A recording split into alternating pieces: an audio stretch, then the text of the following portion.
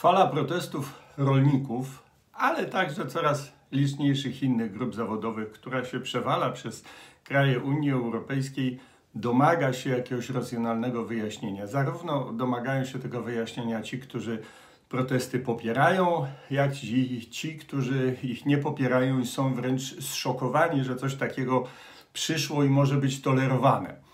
A przyznam Państwu, że granica między, między ludźmi, których uważam za mądrych, względnie uczciwych i mądrych, a tymi, których uważam za nieuczciwych, względnie niemądrych, gdzieś między mniej więcej po tej linii w tej chwili przebiega. Oceny protestów rolników, nie tylko tych protestów polskich, ale także protestów europejskich. Więc domaga się to racjonalnego wyjaśnienia, dlaczego to się stało, dlaczego się tak rozlały te protesty skoro wszyscy zakładali, wszyscy w kręgach decyzyjnych, że rolnictwo jest właściwie jakąś yy, już yy, skazaną na wymarcie dziedziną aktywności gospodarczej, że rolnicy nigdy nie będą wywierać żadnego wpływu na Europę. W końcu 1-2% żyje z rolnictwa w Europie i to żyje głównie z dopłat, z, rozmaitej, y, z rozmaitych dobrodziejstw polityki unijnej, więc jak się im te dobrodziejstwa wreszcie zabierze, to cała reszta społeczeństwa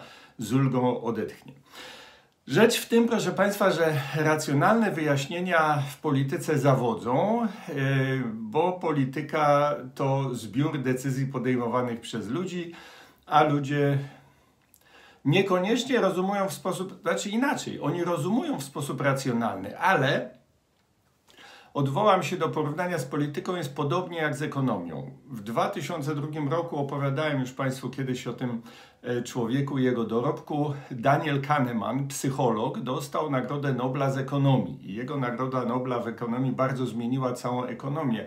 E, dostał ją za e, rozwiniętą wspólnie z innym badaczem, który nie dożył tego wynagrodzenia dostał ją za coś, co nazwał teorią perspektyw. I ta nazwa wyjaśnia o co chodzi. Ludzie, chodzi o podejmowanie decyzji. Teoria podejmowania decyzji, czyli teoria perspektyw. Chodzi o to, że ludzie podejmują decyzje zawsze w pewnej perspektywie.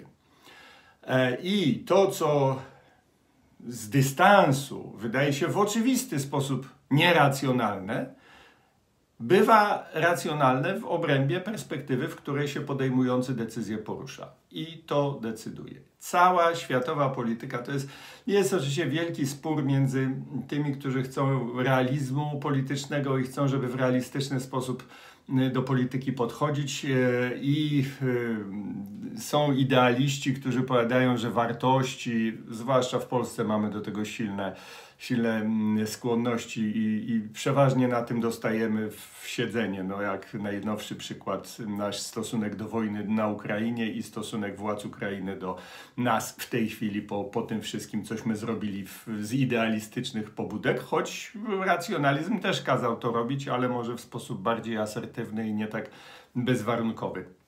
Więc w sporze między idealistami a realistami, oczywiście każdy chce być realistą, bo realizm dobrze brzmi, tylko że nie bardzo wiadomo, dlaczego ten realizm e, nabija się na pewne decyzje i, i, i nie jest w stanie ich wyjaśnić. W realistyczny sposób, bez y, odwołania się do Daniela Kahnemana i jego teorii perspektywy, nie sposób zrozumieć tego, co zrobiła Unia Europejska, tego, co zrobili eurokraci i tego, co zrobiły elity niemieckie, a bez tego się z kolei nie da zrozumieć nie to, dlaczego rolnicy protestują, no bo każda grupa zawodowa, jeżeli wskutek niemądrych decyzji władz, najdelikatniej mówiąc niemądrych, Y, ich dochody spadają rok do roku o 40%, to każda grupa zawodowa w tym momencie będzie się burzyć, blokować ulice i rozrabiać ale dlaczego ta niszowa, jak uważano, grupa skrajna, której dochody nie wpływają na dochody całego społeczeństwa, wręcz przeciwnie, bo przecież dobre zabrobki rolników to droższa żywność, a importowana z daleka żywność to żywność tańsza, więc większość społeczeństwa powinna być za tańszą żywnością importowaną, a nie za droższą żywnością krajową. A jednak z jakiegoś powodu jest inaczej. Tego się nie da rozgryźć bez zrozumienia, w jakiej perspektywie te decyzje były podejmowane.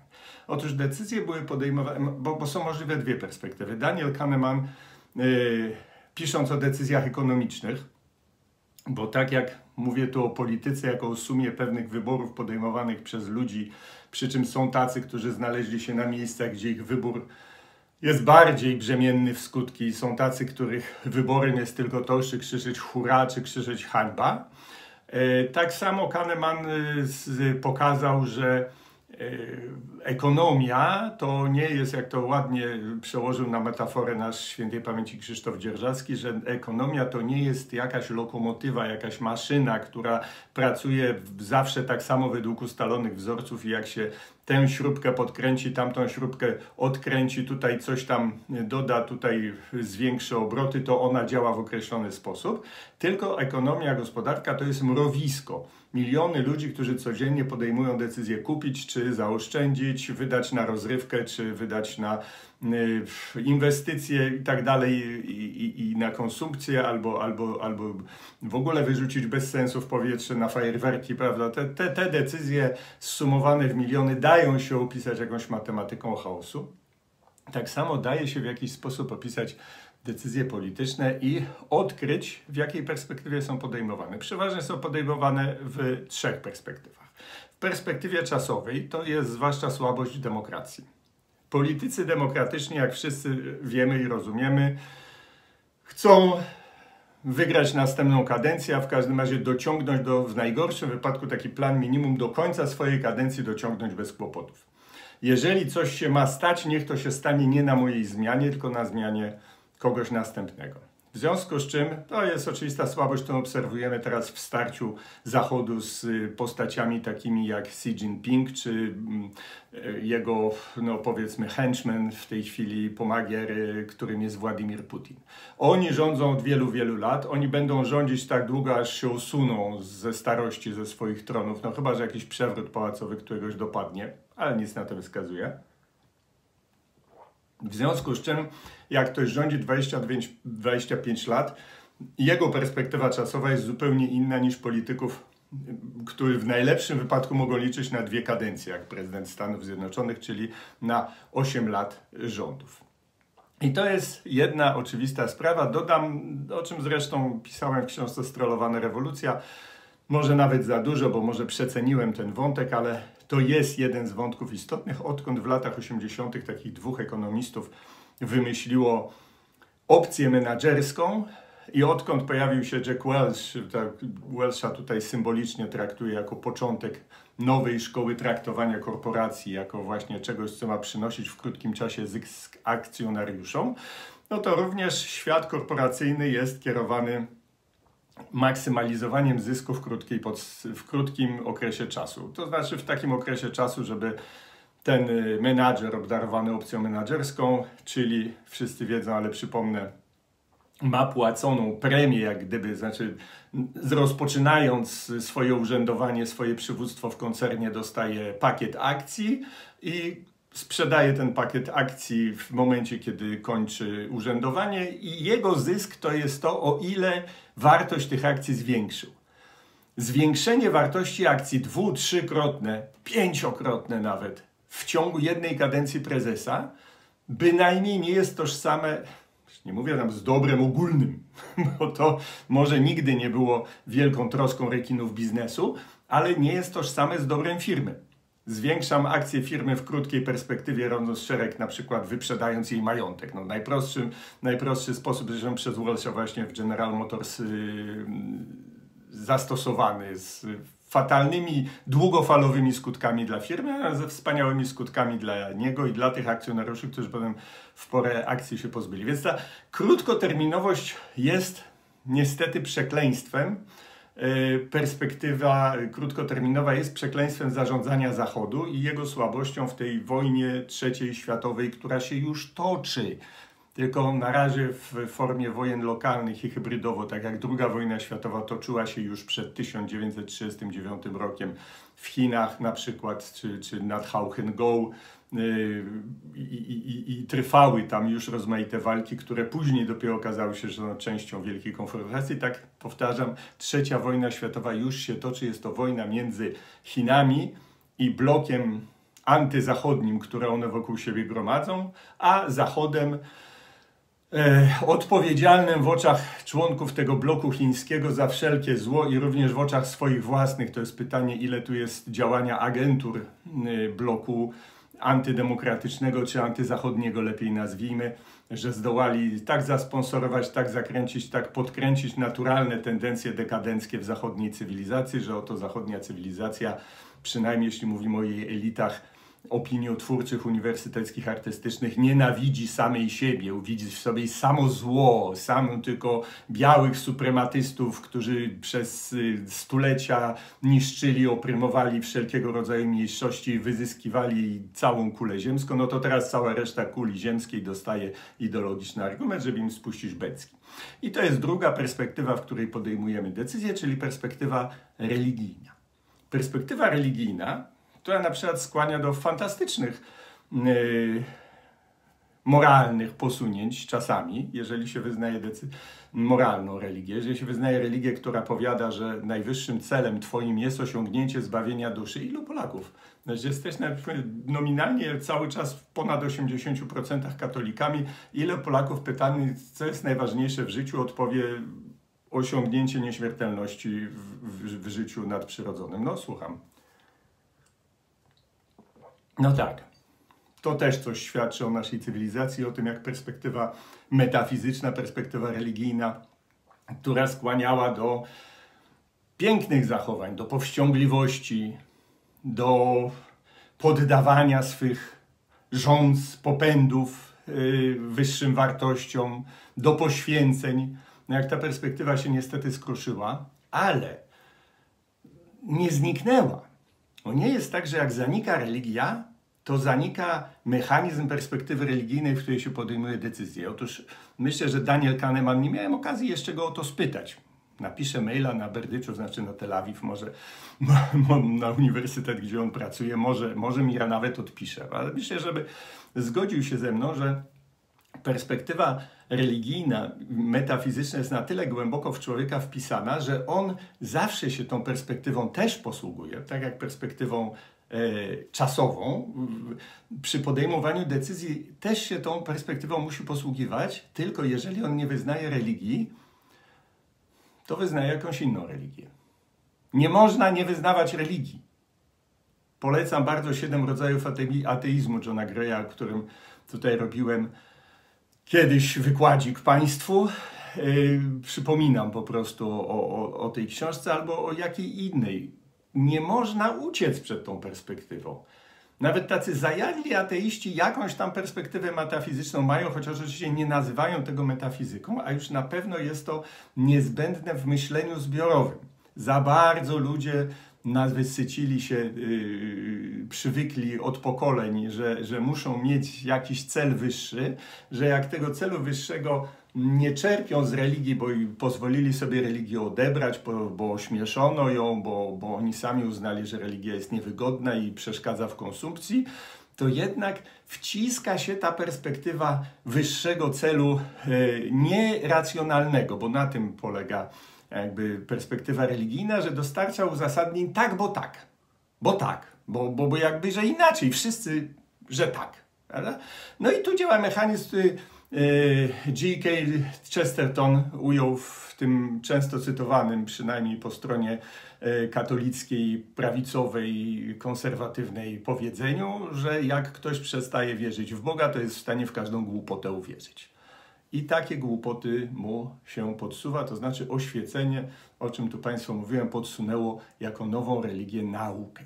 Naukę, która nie ma nic wspólnego z nauką, taką nauką, której Karl Proper pisał w eseju o metodzie naukowej, nauki będącej systemem zorganizowanego wątpienia i podważania wszelkich dogmatów i weryfikowania dogmatów, tylko właśnie z nauki się zrobiło coś zupełnie przeciwnego.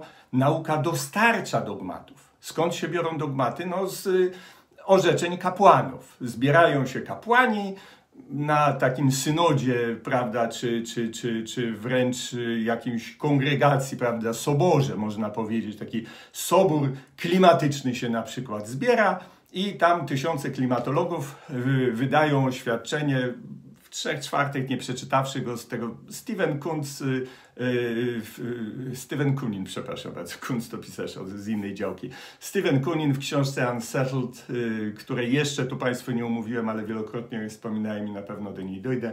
Steven Kunin to świetnie opisał, jak te konsensusy naukowców, a ja to już kpiłem z tego, że te konsensusy naukowców, po pierwsze jak powstają, to jest, to jest czysto prawda, religijne, Sobór głosuje i przyjmuje to większością głosów i nadaje temu sankcję metafizyczną, a z drugiej strony no, to, jak to, jak to potem funkcjonuje, jak to, jak to wchodzi w, w realizację metodami inkwizycyjnymi, nie ma oczywiście to nic wspólnego y, z założeniami nauki, tylko jest czymś wręcz przeciwnym. No, nauka dostarcza pewności, powtórzę to, co już wielokrotnie mówiłem, jedynie w sposób taki, że potwierdza eksperymentalnie. To jest jedyny y, rodzaj absolutnej pewności, który, który daje nauka. Jeżeli jesteśmy eksperymentalnie w stanie empirycznie potwierdzić coś, że taki proces zawsze zachodzi za każdym razem w takich a takich warunkach, taka a taka czynność daje taki a taki skutek, to jest pewność naukowa. Natomiast konsensus naukowców nie daje żadnej pewności.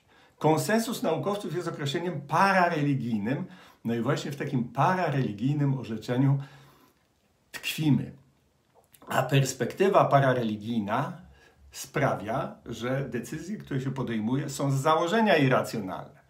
Nie wartościując, mogą być dobre czy złe. Katolik podejmuje decyzję irracjonalną, bo na przykład uważa, będę miał pięcioro dzieci, poświęcę się tym dzieciom, nie będziemy z żoną mieli tak w sensie materialnym, uchetamy się, ale potem, no może yy, nauczymy się czerpać szczęście, bo to jest rzeczywiście duże szczęście patrzeć, jak dzieci dorastają, jak idą na fantastyczne studia i robią świetne rzeczy i tak dalej, ale to być może jest racjonalizowanie czegoś, co z założenia było irracjonalne, bo racjonalne jest przy założeniu, że mamy określony czas, żeby sesorzy pożyć, należy do tak zwanych DINGS, double incomes, no kids, ale szczerze mówiąc to jeszcze lepiej zamiast mieć podwójne dochody i bez dzieci, to lepiej mieć własne pojedyncze dochody i wszystkie przeznaczać na dogadzanie sobie. Katolik podejmuje decyzję nieracjonalną, a i to jest w moim przekonaniu decyzja dobra, ale nie, warto, no, nie wartościując. No, muzułmanin podejmuje też nieracjonalną decyzję, żeby się zabić na przykład. Kto się...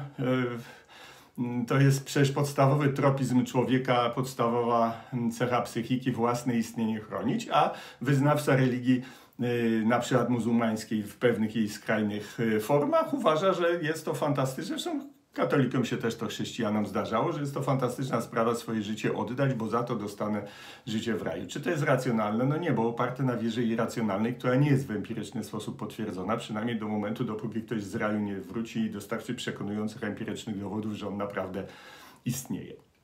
Jeżeli narzucono, w tej chwili narzucono kilka, y, jakby kolaps religii chrześcijańskiej na Zachodzie, wytworzył taką próżnię, w którą wchodziły różne rzeczy. Nacjonalizm. Bardzo naukowe podejście, wywiedzione z teorii doboru naturalnego Darwina. Doskonalimy się przez to, że lepsze organizmy wypychają te gorsze, więc w życiu społecznym doskonalimy się przez to, że lepsze narody będą usuwać te gorsze. Rasizm, forma też zbliżona, doskonalimy się przez to, że te lepsze rasy wyeliminują te gorsze rasy. Komunizm oczywiście, marksizm ze swoją walką klas, też był takim systemem parareligijnym. To zresztą Bertrand Russell, yy, cytuję właśnie za wspomnianym Johnem Graham, on tam fantastycznie ośmieszył Marksa, pokazując jak Marks y, po prostu przekłada Talmud na, na swój marksistowski język, ale dokładnie wszystkie terminy, wszystkie zwroty, wszystkie myśli, to co walkę klas, to jest po prostu droga zbawienia przez Jehowę narodu wybranego. Ten, ten naród wybrany to są oczywiście narody komunistyczne u Marksa. Niech się tam Bertrand Russell z nim kłóci, pewnie się kłócą, prawda, między sobą w tej chwili, ale to nie bardzo możemy w tej chwili się y, już y, podłączyć pod tę dyskusję i posłuchać, jak ona wygląda.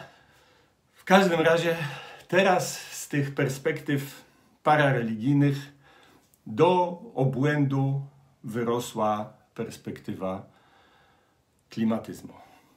Klimat, czyli trzeba ratować planetę. Jak trzeba ratować planetę, to nic nie jest niemoralne, co służy ratowaniu planety. To nic nie jest złe, co służy ratowaniu planety. I wszystko, co przeciwne jest ratowaniu planety, jest złe. A co służy ratowaniu planety? A to właśnie od tego mamy kapłanów, którzy w sposób całkowicie irracjonalny powiadają, że na przykład nie służy ratowaniu planety energia z rozszczepienia atomu, jakkolwiek jest to jedyny znany ludzkości sposób produkowania energii bez powodowania emisji dwutlenku węgla.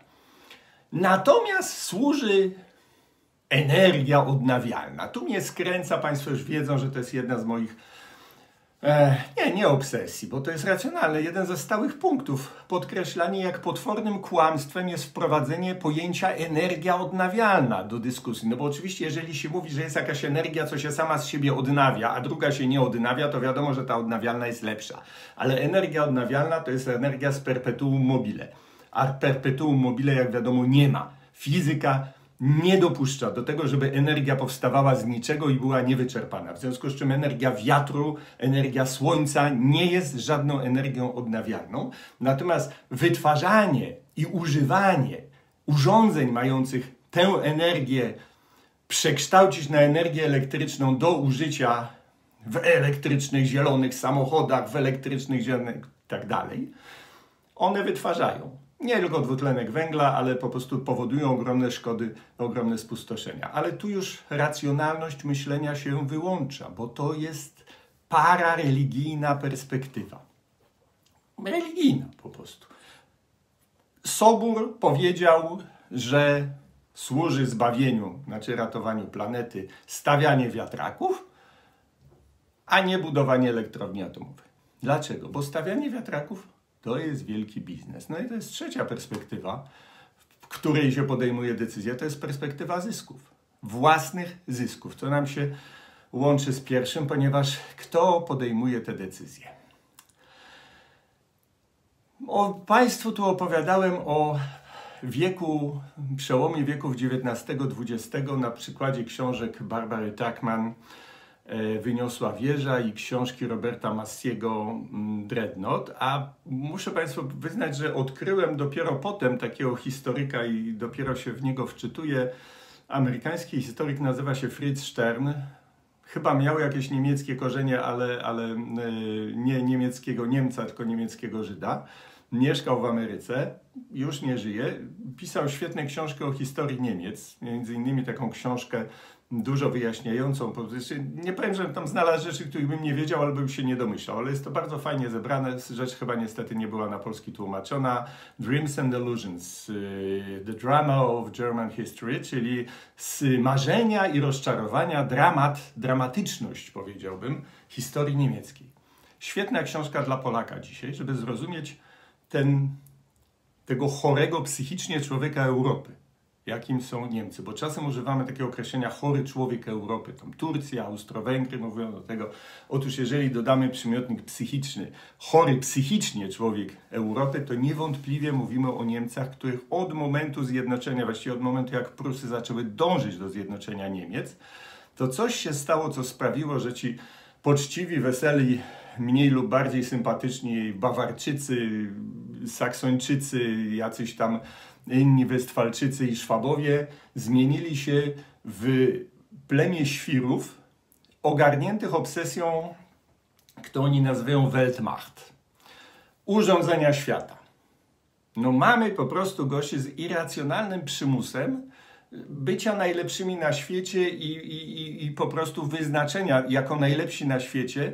To nawet nie jest, jak się wczytuje w, w te niemieckie elukubracje rozmaite, to nawet nie jest takie poczucie wyższości, z jaką na przykład Anglicy mieli swoje poczucie Weltmachtu, tylko oni się to jakoś inaczej nazywało, misji białego człowieka, że oni po prostu są lepsi, bo, bo, są, bo są lepsi, więc zrobią tak, żeby było lepiej. Natomiast u Niemców jest takie poczucie, że my musimy to zrobić, bo jak nie, my tego nie zrobimy, to będzie źle.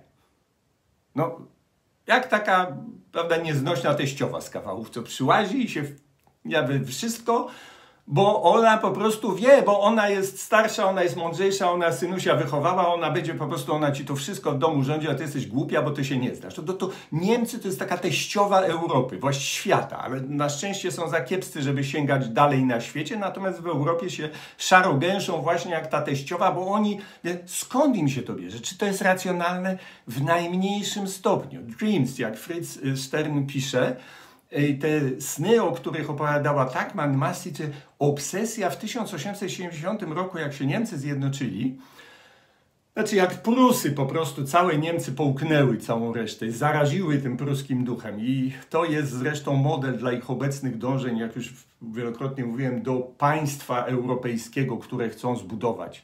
Państwo europejskie to ma być druga Rzesza bis. Tylko tę rolę, którą Prusy odegrały w Związku Północno-Niemieckim, w Związku Niemieckim, a potem w Cesarstwie Niemieckim, to tę rolę w Unii Europejskiej, przekształcanej w Stany Zjednoczone Europy, czy w państwo europejskie, jakkolwiek inaczej nazywane, tę rolę mają odegrać Niemcy. A cała reszta może zachować niezależność, tak jak w Cesarstwie Niemieckim już do dziś, przecież są jakieś tam parlamenty bawarskie, inne tam, że lokalne spędy, ale one mają guzik do powiedzenia tak naprawdę rządzą wszystkim tym Prusacy do dzisiaj i tak, chociaż już Prus nie ma, ale prusactwo zostało w mentalu niemieckim i tak samo ma to wyglądać z tą Europą. I to by było do wytrzymania, bo historia jest pełna takich wypadków i nie zawsze jest to dziełem wariatów. Rzym tak robił, bo był najmądrzejszy na świecie, Ameryka tak robi, bo jest najmądrzejsza na świecie.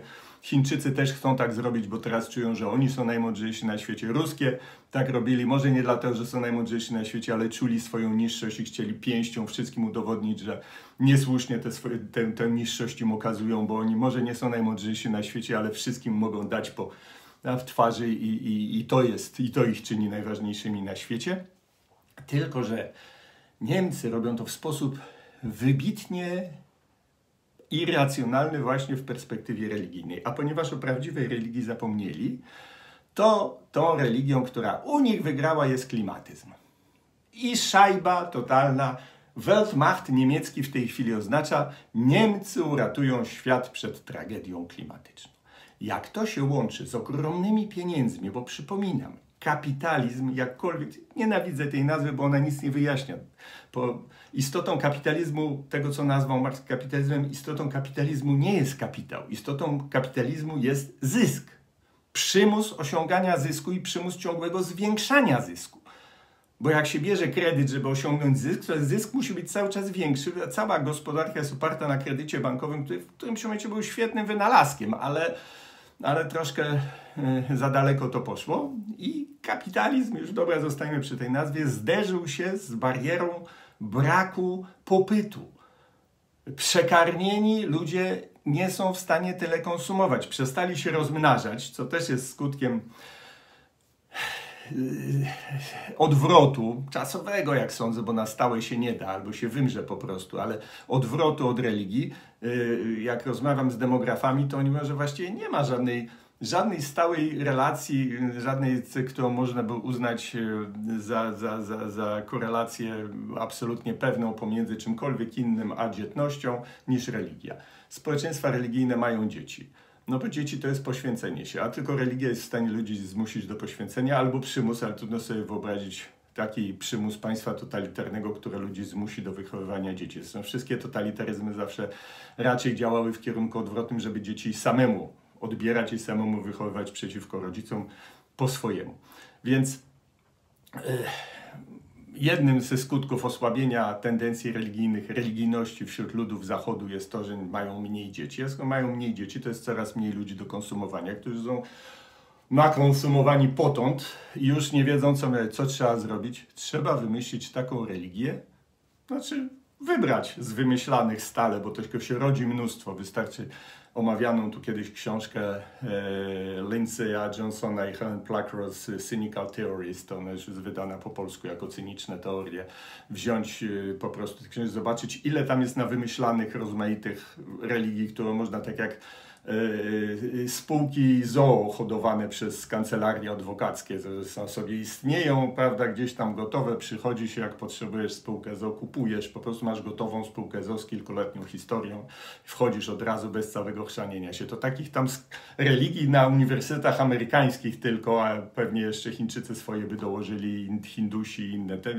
tych religii jest mnóstwo, więc trzeba wybrać taką religię, która obiecuje duże pieniądze. I dlatego z dziewięciu wymienianych przez panel y, ONZ-owski, o którym pisał Jason Heikel w, w książce Mniej znaczy więcej i, i, i cytowałem to w filmiku y, poświęconym tej, tej książce. Z tych dziewięciu punktów, które naukowcy wskazali jako zagrożenia dla przyszłości świata, osiem punktów kompletnie zlano, a ten jeden, emisja dwutlenku węgla, podniesiony został do rangi najważniejszej sprawy na świecie. Bo emisja dwutlenku węgla można przekręcić, że uzasadnia produkowanie mnóstwa badziewia i zmuszanie ludzi do konsumowania tego badziewia. Samochody elektryczne, które są tego najlepszym przykładem. Silnik elektryczny jest sprawniejszy, ale prądu się nie da w spokojny, bezpieczny i ekonomiczny sposób przechowywać. Co sprawia, że pierwsze samochody, jakie wymyślano, były elektryczne, ale potem przerzucono się na paliwa płynne i to się nie zmieni. Jak tylko tąpnie polityka klimatyczna, w którymś momencie ta religia klimatyzmu oczywiście się skończy, no bo może rację mają ci naukowcy, którzy mówią, że cykle słoneczne spowodują, że w latach 30. naszego stulecia nastąpi bardzo gwałtowne ochłodzenie na Ziemi. To wtedy pewnie oczywiście ci macherzy będą mówili: O, proszę, redukowaliśmy dwutlenek węgla, widzicie, Fit for 55 przyniosło skutek. Jest zimno, nie ma w ogóle, żyć się nie da, prawda, bo jest za zimno, rolnictwo zdechło, w tak zwanym się zniszczyliśmy. Dobra. Ta, już nie brnąc w tej chwili, bo szkoda trochę czasu, będziemy to wracać nieustannie w Akademii Zdrowego Rozsądku, bo z niczym się dzisiaj zdrowy rozsądek tak bardzo nie, nie zderza i nic mu nie jest tak bardzo wrogie jak ta religia klimatyzmu. Religia klimatyzmu, oczywiście, chory psychiczny człowiek Europy, kandydat na światowego prymusa, jak w XIX wieku miał obsesję kolonii, tak teraz złapał obsesję klimatu. A obsesja kolonii, przypominam, bo naprawdę Messi tak ma to świetnie opisali, a, a Stern to opisuje jeszcze lepiej. Wojna światowa wybuchła przez to, że Niemcy z tym swoim świrem Weltmacht mieli świra, że oni muszą kolonię zdobyć. A przecież cały świat już by rozkraczający. Było to, to coś absurdalnego, że aż chce się ten absurd analizować w nieskończoność na wielu płaszczyznach. Ponieważ spowodowało, że po pierwsze, Niemcy, które się najlepiej w Europie rozwijały właśnie dlatego, że nie miały kolonii, chciały je mieć. W ogóle dlaczego Francja, Anglia przede wszystkim, dlaczego oni włożyli tyle wysiłku w to, żeby mieć kolonię? Czy to się opłacało? Nie do końca. Im więcej kolonii, tym kraj się słabiej rozwijał. Ale ci, którzy w kolonii zakładali taką kompanię indyjską i tam kradli na potęgę, prawda? To w tej kolonii się nakradli, to z ich powodu ludzie na to patrzyli, widzieli, to tak jak bańka y, giełdowa działa. Jak począwszy od czasów gorączki tulipanowej czy gorączki wrakowej w XVIII wieku w Wielkiej Brytanii, czy innych baniek giełdowych, prawda? Ludzie widzą piramidę, że ten zainwestował stówę i już po miesiącu ma 150, a po trzech miesiącach ma 450, więc pożyczają, inwestują w tej piramidę. Bańka rośnie, pęka ten sam mechanizm był z koloniami. Kolonie w tym świecie się okazały nieopłacalne, ponieważ wszyscy na Zachodzie tego nie widzieli, bo patrzyli w perspektywie krótkoterminowych zysków tych, którzy w działalność kolonii, i również rządy patrzyły w takiej perspektywie, to Niemcy też mieli obsesję, że oni muszą te kolonie zdobyć. Ale już nie było nic do zdobycia, co trzeba, żeby zbudować kolonię, trzeba mieć flotę. Zbudowali ogromną flotę. Budowa tej floty uruchomiła ciąg zdarzeń, które doprowadziły do wojny światowej, w, znaczy do wojny w Europie, ona się przełożyła na światową, ale ta wielka wojna, jak ją nazywano, zanim zaczęto ją nazywać pierwszą wojną światową, była jednak przede wszystkim wojną europejską, która, zresztą w której Europa się wzajemnie wyniszczyła i raz na zawsze straciła dominującą pozycję e, e, w globalnej cywilizacji. Ta cała wojna była toczona przez budowę floty, którą Niemcy zbudowali, której nigdy praktycznie nie byli w stanie użyć. Mało tego, tę wojnę, która w zasadzie von Moltke chciał już w 1912 roku ją y, wywołać i uległ wtedy namowom y, e, Tyrpica, który tłumaczył, że muszą poczekać aż kanał Kiloński zostanie rozbudowany, poszerzony, żeby te pancerniki mogły przechodzić z Bałtyku na Morze Północne. Przy czym jedna próba przerwania blokady, czyli Bitwa Jutlandzka, która pokazała, że Niemcy nie są w stanie się przebić przez blokadę wybrzeży brytyjską i cała ta flota i cały ten kanał kiloński, to wszystko było psu na buty.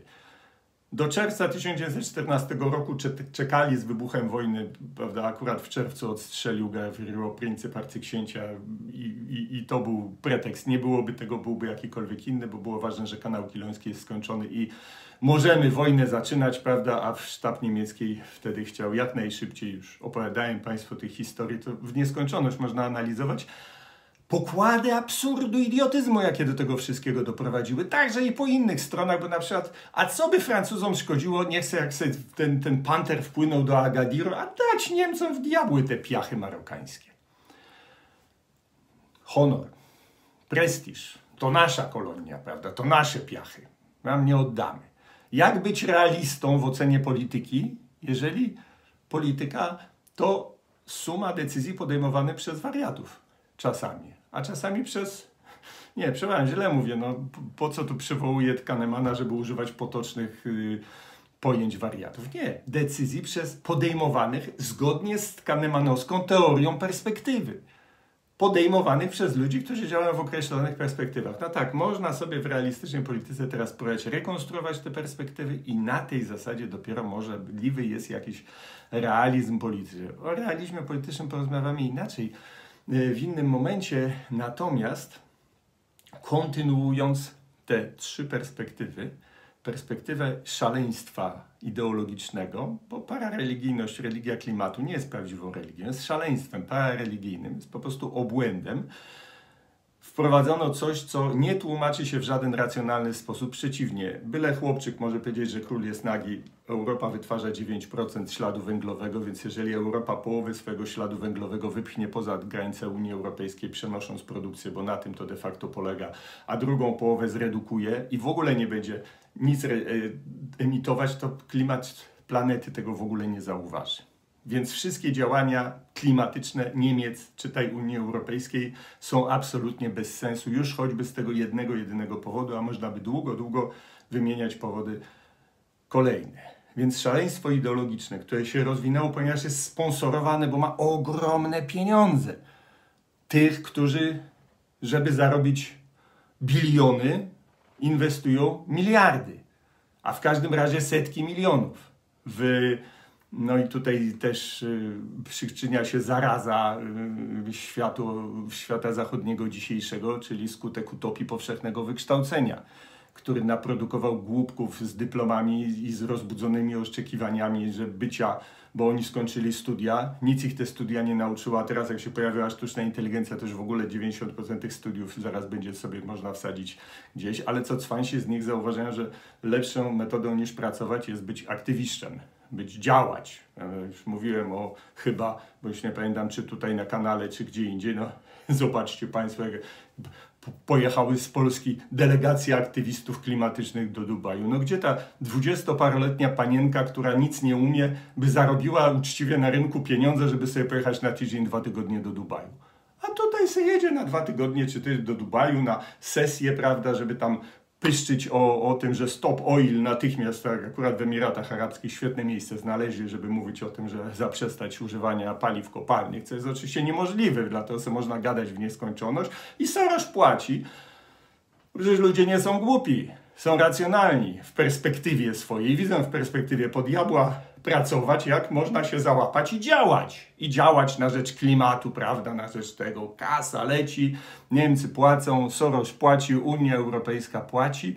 Co się z tą kasą dzieje? Ta kasa służy, i to jest znowu powrót do perspektywy kolonialnej i puenta. I to najważniejsze, co chcę Państwu dzisiaj powiedzieć. Kasa leci na korumpowanie krajów kolonizowanych. Bo jak się odbywa kolonizacja? Wspomniałem o tym Maroku, na przykład, którym się Francja nie chciała podzielić z Niemcami, co było jedną z przyczyn wybuchu wojny światowej. Jak Maroko skolonizowano? W naszym wyobrażeniu jest tak, że kolonizacja polega na tym, że wchodzi armia, rozstrzeliwuje, narzuca wojskowe rządy. Nie, tak kolonizowała Hiszpania, południową Amerykę i to rozpukło się w tym już momencie. Centralnie zarządzana kolonizacja, przypominam filmik swój o książce pana Kazimierza Dziewanowskiego Brzemię Białego Człowieka. Anglia wygrała, dlatego stała się największym kolonialnym mocarstwem, że po prostu puściła swoich rozmaitych obiesiów, jakichś takich Jamesonów, Rodsów, prawda, i, i innych, którzy każdy łupił na własną rękę. Jak łupił? Wjeżdżał do danego kraju i dogadywał się i korumpował miejscowych kacyków. To jest doświadczenie Zachodu, to jest doświadczenie zachodniej Europy, jak zdobywać kolonie. Podbój 200 milionów Chińczyków podbiło kilka tysięcy Brytyjczyków. Oczywiście, tu strzelili, tam strzelili, cienka czerwona linia, czerwone kurtki tam poszły, wystrzelały jakiś sahibów tu i tam, ale zazwyczaj na prośbę innych sahibów wdali się w tę subtelną grę między pokłóconymi ze sobą, więc skorumpowali, kupili po prostu. Nie wzięli Indii przemocą, wzięli je korupcją. I tak samo było z Marokiem. Też jakoś tam, nie pamiętam jak on się nazywa, sułtan czy tam inny jakiś chief y, Maroka, Kasabubu. W zależności od stopnia rozwoju to były szklane paciorki. Co się dzisiaj dzieje w Polsce? Dokładnie to europejskie doświadczenie jest wykorzystywane przeciwko nam. Rządzą ludzie, którzy nie chcą, żeby Polska, przynajmniej werbalnie się opierają kolonizacji, chociaż po, ulegają, pękają. Potem premier przyjechał, mówi: No niestety, klimat to jest taka religia, że tam nie wolno słowem pysknąć na tych szczytach unijnych, się przeciwstawić, więc musiałem podpisać i podpisałem te zielone łady. Otwartym tekstem to przecież były premier mówił, ale teraz są tacy co już nawet słowem się nie przeciwstawiają. I nagle się okazuje, że wcześniej to trzeba było tyle, panie, 500 kamieni milowych spełnić i ustaw pozmieniać, żeby... Jaka ustawa się zmieniła w Polsce przez ostatnie 4 miesiące dotycząca sądownictwa? No nic się nie mogło zmienić, bo musiałby prezydent podpisać, o ile wiem, w ogóle nie dostał prezydent nic do podpisania. Sejm jeszcze nic nie przegłosował, przyjeżdża pani von der Leyen. Macie jest jedna ciekawostka, jedna nowość, która różni sytuację Polski od sytuacji XIX-wiecznego Maroka, czy XVIII-wiecznych Indii, y, czy, czy, czy krajów afrykańskich, czy krajów y, południowa Ameryka to trochę inaczej, bo tam było na, i, i, północna też, tam nie było państwowości, tam korumpowali jakichś wodzów na, na krótko, bo oni niewiele mogli i nie było potrzeby wiele na nich wydawać. Ale jedno różni. Dotąd korumpowane były elity i to jest oczywiście widać, wystarczy zadrzeć głowę i zobaczyć, kto w Polsce w tej chwili rządzi, że to są ludzie, którzy całkowicie swoją lojalność na państwo europejskie, bo stamtąd liczą na obrywy, tam są kariery, tam są pieniądze. Jak to na taśmach kelnerskich było, jesteś daleko od tego całego syfu, prawda, w innej perspektywie w ogóle się obracasz. Ale jest też próba, no bo pierwszy raz kolonizowane jest państwo jednak jakby nie spojrzeć demokratyczne. Więc w państwie demokratycznym skorumpować trzeba też demos. I to jest coś rzeczywiście, czego dotąd nie próbowano. Nie tylko kacyków kupić, ale również kupić wyborców obietnicą pieniędzy z KPO. Sprytno, bo oczywiście wyborcy głupi nie wiedzą, że te KPO to oni sami, poży- że to jest pożyczone pod zastaw ich własnej przeszłości i to my będziemy spłacać, ale łaskawcy nam dają wiatraki elektryczne, prawda, turbiny przez Siemensa produkowane i, i wszystkie takie różne inne, głównie niemieckie badziewie, ale trochę też francuskiego. Wszystko to, czego byśmy nie kupili sami z siebie, nawet gdybyśmy mieli pieniądze, bo to do niczego niepotrzebne, ale, ale to wytwarza, yy, daje taką możliwość, patrzcie, patrzcie, dajemy wam to. I to jest pytanie, czy można przekupić demos?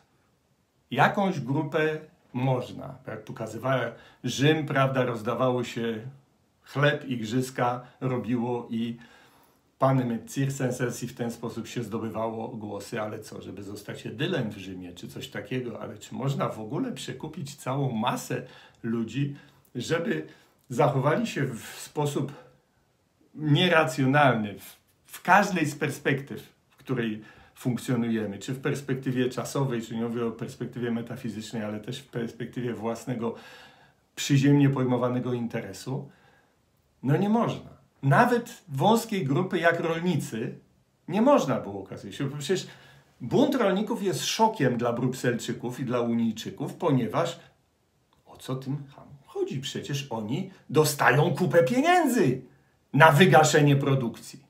Dlaczego mają wygasić produkcję? Dlaczego Europa nie chce produkcji rolnej na terenie Europy? To chyba już Państwu mówiłem w innym filmie, więc nie będę do tego wracał.